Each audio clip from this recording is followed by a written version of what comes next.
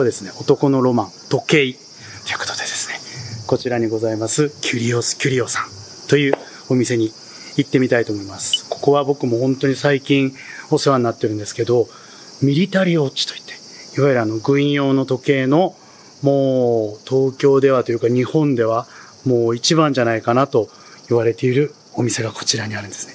ちょっと行ってみたいと思います。こちらでございます。キュリオスキュリオ。行ってみますか。はい。こんにちは。あ、こんにちは。こんにちは。よろしくお願いします。よろしくお願いします。ありがとうございます。店長の萩原さんです。萩原と申します。よろしくお願いします。今日はちょっと、まだ僕も最近はい。覚えたてのはい。このミリタリーウォッチとは、はい。もうなんだっていうのも、はい本当もう子供に教えるかのように、はい。ちょっと改めてわかりました。僕とあの見ている方にはい教えていただければわかりました。嬉しいなと思ってます。見てください、この、この渋いこの品揃え。いやー、これだけ揃ってるところっていうのはもうないですからね。そうですね。うちはヴィンテージウォッチの専門店で、うん。あの、軍用以外も扱っているんですけれども、私自身、あの、ミリタリーウォッチが大好きでう、んそこから始まったんで、うんミリタリーウォッチを主に扱いながら、その他の時計もやってます。ということですよね。はい。というわけで、萩原さん今日ははい。ミリタリーウォッチについて、はい。ちょっともう僕もマジで一から勉強するつもりではい。お話を聞きたいんですけどミリタリーっていうのは、はいなんかそもそももともとはその軍にはい。支給されていたものっていうことで合ってるんですか、そうですね、うん。まあ、国防省とかうん。国の機関がその軍に対して、うん。まあ、最適な機能、うん。性能を、えー要する時計が必要だということで使用を決めてうん、軍からうん。メーカーに発注したものです。なので、えー一般には販売されていません。いないんですよね。いないです。そこですよね、はい、空軍、うん。海軍、うん。陸軍、まあ、うん海兵隊とかありますけれども、その専用にうん作られている。しかもそれは国々でそうです。いろんな、まあ、はいドイツだったり、はい。イタリアだったり。そうです。なので、うん。国の所有物ってことになるんですもともとね、はい。ああそういうことですよね。なので、まあ、なぜこれが市場に出てきているかというと、うんうんうん。まあ、当然新しいモデルにじゃあ変えましょうって言った時に、うん。まあ、軍の方で民間企業に払い下げをしてうんでそれ民間企業が世に流すっていう流れなんですよね。あじゃあその当時からはい。販売されていたものがあるんですか？一度でも軍から？そうです。軍軍でもう使わなくなったものが世に流れてるっていう。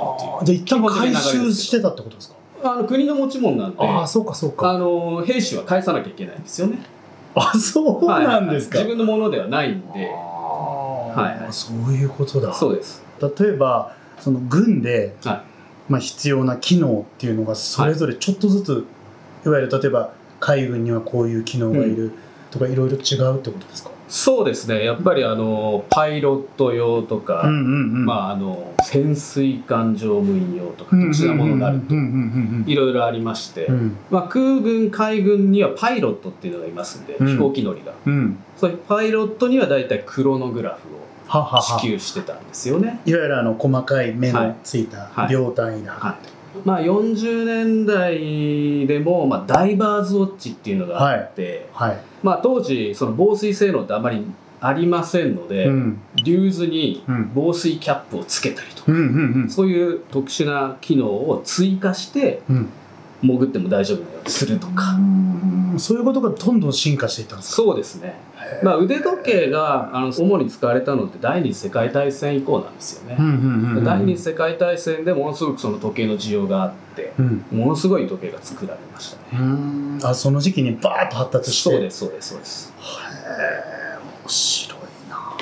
僕がその軍用時計というのに出会ったのは、はい。実はこの本を、はいあの尾花さんっていうあの N ハリのデザイナーの尾花さんが、インスタグラムに上げててこのまず僕この本が気になってはい。本を買ったんですよ。はい。時計を買う前に。はい。でずーっと眺めて眺めてこんなにいろんな、ね、形も違うんだと思って一個気になるのが出て、はいそれを探しに僕はこのお店に来たっていうのがあ。最初だったんですけどその時に僕がいいなと思ったのがこのレマニアの TG195 ってい TG19 うやつのはい。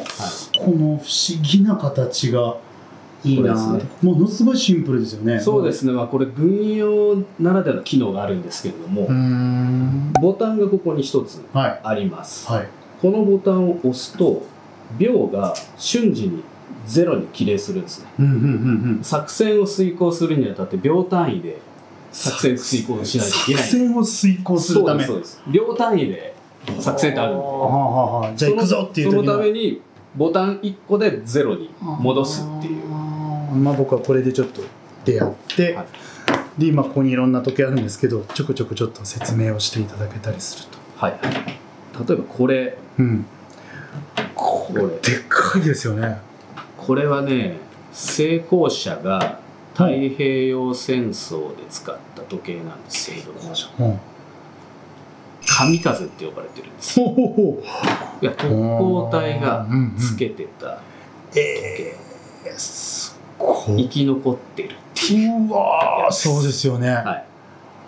これつけてたんだ。まあ大体多分1万個ぐらい作ってると思うんですけどね。現存する数は少ないですよね。やっぱりちょっとなくなっちゃってるんで。そうですよね、はい。神風特攻隊だったら。で裏に空兵と番号が入ってます。本当だ日本語。えにー。漢数字でね。これが日本のミリタリーウォッチ。あとはこの辺りは？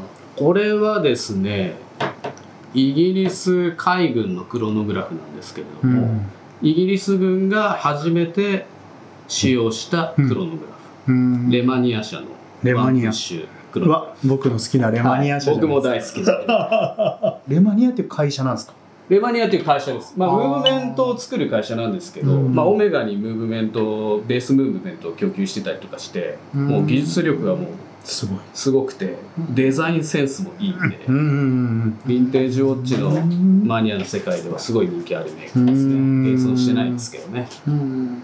でこれが僕が生まれて初めてこちらではい、買わせていただいたはい、ハミルトン。これハミルトンのイギリスこれ海軍ですよね。海軍パイロットのクロノグラフですよね。海軍のパイロットっていうことは空母そうです。のに乗ってたパイロット。そうですそうです。これなんか後ろに数字がはい。あるんですけど、そうですね。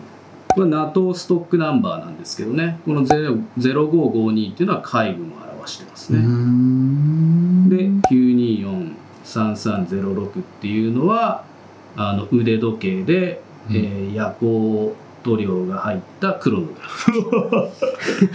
これ数字で全部わかるん数字でね、まあある程度わかる。わからないのもね、まだあるんですけどね。いいなわかる。あと、まあ、支給年と製造番号。まあ、支給番号ですね。が入ってる。